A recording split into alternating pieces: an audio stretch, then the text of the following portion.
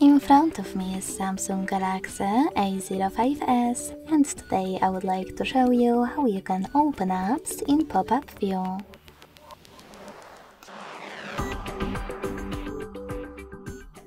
Begin by selecting one of your apps that you wish to use in this view and accessing the chosen one in the background. To do that with Trickist navigation, use this button with three lines. Now just tap on the icon of your app at the top and select Open in pop-up view. As you can see, now I can use my app in this little window. To turn it into a bubble, click on Home button, and to go back to it, click on the bubble. Now you can hold this line at the top to place your window wherever you wish to.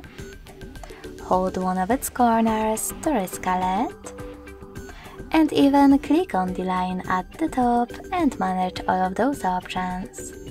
For example, by clicking on this little icon of an arrow with two points, you can use your app in full screen view right away.